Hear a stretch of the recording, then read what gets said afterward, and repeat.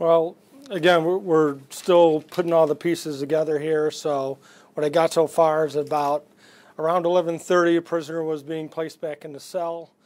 Um, the way our our system works, uh, devices turn to close uh, the cell, and it closes at a at a slow manner.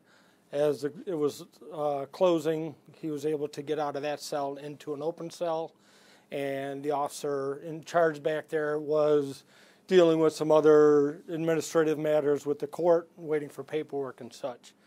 Um, at some time during his stay from yesterday till today, he was able to uh, see the code being punched in to get in and out of the doors. Uh, he would punch that code in and unsecured the garage door because even though it's for a jail, we obviously have to have the safety concerns for a quick release just like you would have at home. He was able to do that. Um, the, the, key fob was, was close enough to activate the uh, cruiser and he drove from the police station. One of the benefits of being a frequent flyer, you know how the system works?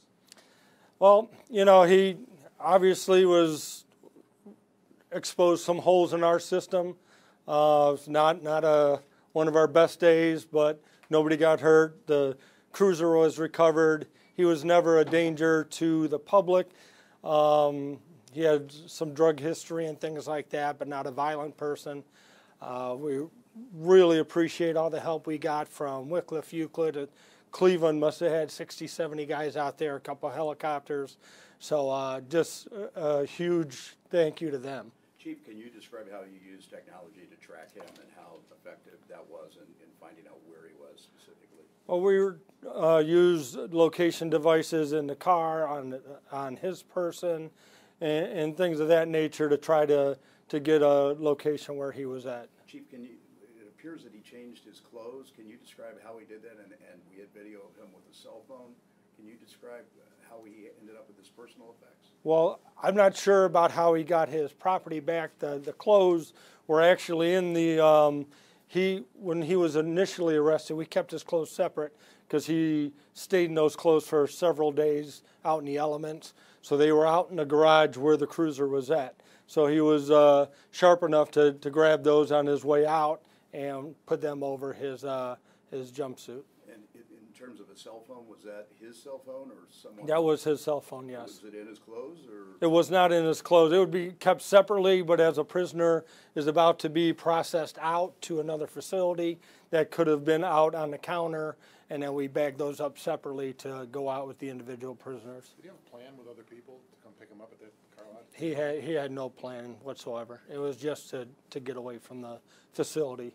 Can you talk about his background and how, you know, one of the big themes in his life is stealing cars and going out and, and going to dealerships and stealing cars, and that's kind of ironic what ended up happening today. Well, he, he's a, a thief of opportunity, and I believe it's all fueled by drugs.